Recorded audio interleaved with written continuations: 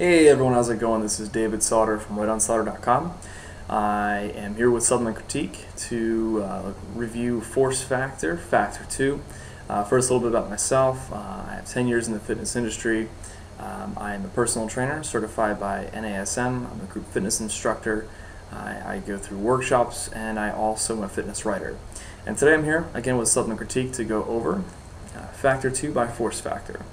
Uh, okay, so a little bit uh, about the company. Um, uh, if you've watched my other reviews on this company, uh, you're going to hear the same spiel again. Uh, it is a company funded by two uh, Harvard University rowers.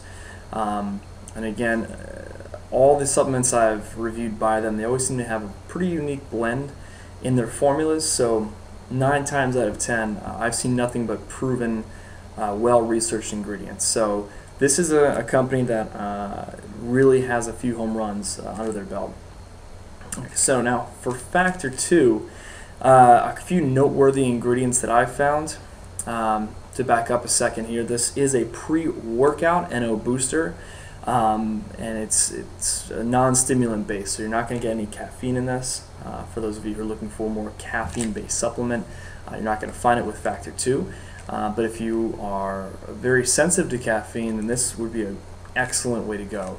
Um, again, a few no, uh, noteworthy ingredients. They have L-citrulline, which is a known performance enhancer. Uh, works great with creatine. So if you don't already have creatine uh, in your daily supplement regimen, I would highly recommend putting creatine in there along with this.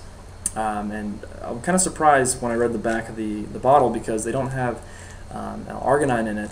And those two together are fantastic. Yes, L-citrulline is a little bit more powerful than L-arginine, but uh, together the results are triple pretty much.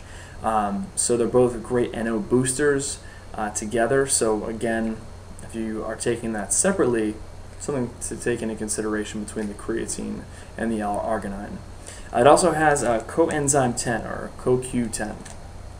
And what that does, uh, you'll see it on a lot of supplements uh, that are cardiovascular based, so cholesterol levels that need to be lowered, that'll have it in there. For this, it is a super antioxidant and it does protect muscles during the intense workouts that you do. Um, kind of protects from the cortisol taking place and, and its uh, catabolic effects.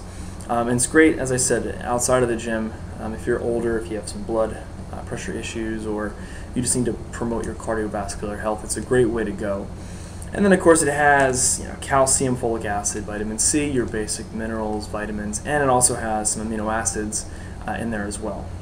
So, from my personal experience, um, I use this during just basic training. I'm also training for 5K as well, um, and I worked out about two or three days a week in the weight room, and I did about uh, two or three runs a week on top of that uh, separately. Again, um, this was more speed-based performance, not mileage. Um, so I was trying, to get a specific time for the race. So that's what uh, this was great for. Um, my review on it, the pros, very positive. Um, again, I use it during my training, and while I was lifting in particular, I felt uh, definitely more full pump, so you definitely get that NO boosting quality that you're looking for with this um, whatever muscle group I'd worked that day, certainly I left the gym feeling much more pumped in that particular muscle area. Um, and then just to test the waters out, if you've watched my other review on uh, Volcano by Force Factor, I put the two together one day before a leg day just to kind of see what the results would be, and they were tremendous. Um, if you're taking both, uh, take them both before leg day, 30 minutes before the workout you are going to see a phenomenal increase in energy and NO boosting. Your legs are going to feel like giant tree stumps. Uh, it was excellent. One of the best workouts I've had in a while. Again, though, you, once in a while I would do that. I wouldn't do that all the time if you're considering it just because you don't want to build up a tolerance to these ingredients. And that's my next point. That's one of the cons of Factor 2. I noticed toward the end of a one month supply I needed to increase the dosage. So this uh, has you doing about two capsules. Now you do it with breakfast, you do it before your workout. I noticed pretty quickly at the end of the toward the end of the bottle that I needed more to get that same pump NO boosting effect that I had in the beginning. So that could become a real problem uh, if you don't cycle off. Okay, cycling, uh, as I'm sure you know, you take let's say four weeks on a product, you take a week or two off and get back on it to have the same effect. So unless you're doing that, you're going to spend a lot of money buying this two, maybe even three times a month if you don't cycle off.